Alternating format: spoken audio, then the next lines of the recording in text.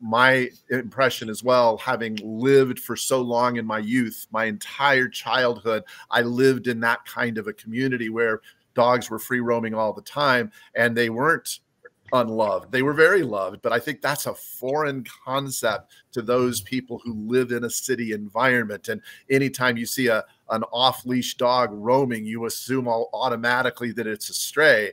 Um, how how do you go into the the the reservation environment and determine which dogs need to be rescued? Since clearly just because it's off leash doesn't mean it doesn't have a home.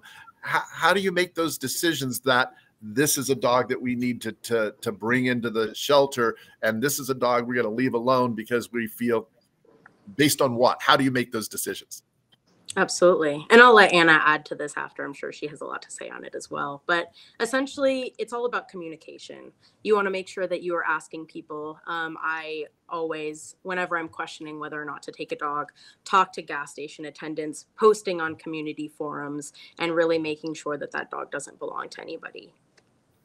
And do you do you have to wait to find that out? I mean, do you post something on social media and say mm-hmm. anybody know whose dog this is, or, or or how do you do that communication? How do you get the word out?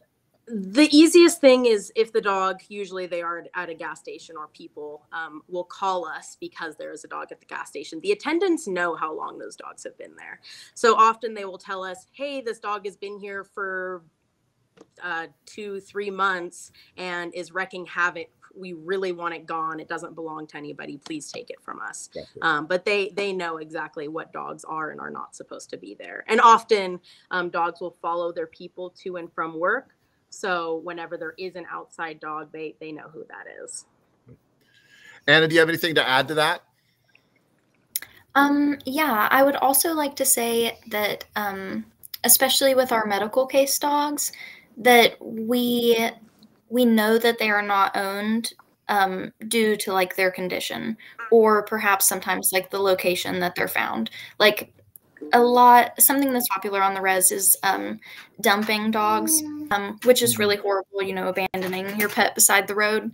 Um, but if they're in the middle of nowhere, not near anyone's houses, and like this dog just showed up on the side of the road, it's pretty safe to say that it was dumped um, and that we can take it. And you can also take into account um, the dog's like physical health um, whenever you're making those decisions.